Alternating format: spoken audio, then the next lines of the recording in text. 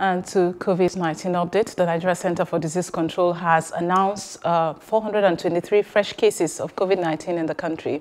The NCDC made this known on its official Twitter handle on Tuesday and also said that six deaths were recorded in the country. The health agency added that the new cases were spread across 21 states and the Federal Capital Territory, Abuja. The new cases take the country's total tally to 47,290. Of the figure, Lagos has 117 new cases, followed by the FCT with 40 cases, while Ondo and River State recorded 35 and 28 cases, respectively. Osun has 24 more, Benue 21, Abia 19, Ogun 19 as well, Ebonyi 18, Delta and Kwara 17 each, while Kaduna and Anambra have 15 and 14 cases respectively.